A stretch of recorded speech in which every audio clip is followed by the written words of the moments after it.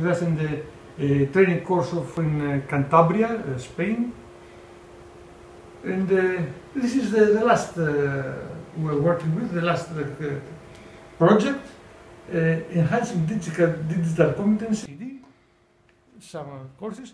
This is the project that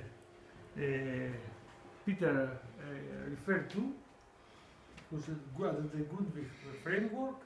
Another course with the we organized adult education together with uh, Peter. Uh, this is another big uh, course that comes to an end, is coming to an end. I hope didn't suffer a lot. Peter, I'm plugging it out.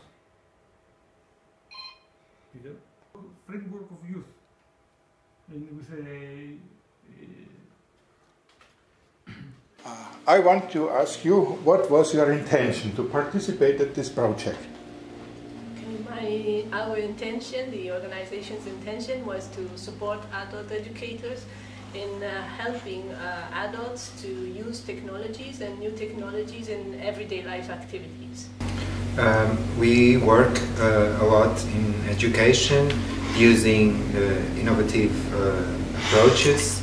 Um, we understand that uh, digital competencies are very important in many domains of people's lives um, and uh, we're interested in participating in developing new ways of helping people uh, integrate and have fulfilled uh, lives also in the digital aspect. Uh, my intention is to come here and meet colleagues, people that I already know, but also people, new people for me, and uh, create uh, a content of a course that is, I think it's very important for my point of view.